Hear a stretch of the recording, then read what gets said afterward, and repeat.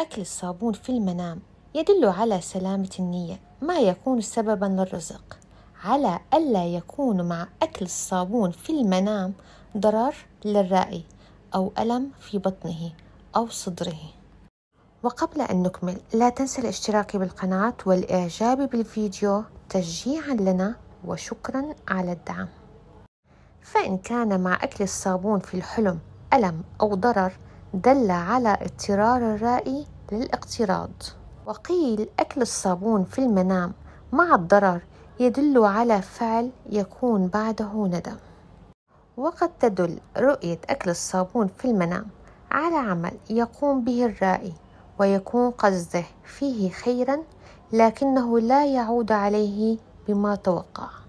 والله تعالى أجل وأعلم. شراء الصابون في المنام. يدل على البداية بمشروع جديد فيه رزق طيب حلال. وقد تدل رؤية شراء الصابون في الحلم على الاستعداد للزواج بالنسبة للأعزاب. وأما صناعة الصابون في المنام فتدل على أخذ علم والتمرس به حتى يزيع صيت الرائي بسببه. وقد تدل صناعة الصابون في المنام على العمل في مهنة فيه منفعة عامة للناس مثل التعليم والإرشاد. وكذلك يدل بيع الصابون في المنام على الرزق المحمود وعلى المنفعة التي تحصل من البائع في الحلم للناس. الانزلاق والسقوط في المنام. لا خير فيه عموما سواء كان بسبب الصابون أم بسبب غيره. وقد يدل الانزلاق أو التزحلق بالصابون في المنام على وعكة صحية مفاجئة. تكون سببا لتعطل الرائي عن حياته لكنها تنتهي إلى الشفاء بإذن الله.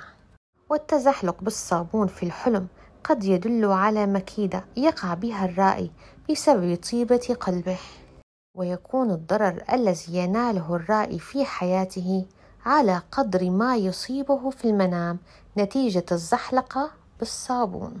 فإن انكسرت يده أو رجله كان البلاء في رزقه وماله وعمله. أما إن انكسر ظهره بسبب الانزلاق في المنام فيكون البلاء فقدانه لسنده ومن يرعى أموره ويواسيه في حياته. والله تعالى أجل وأحكم.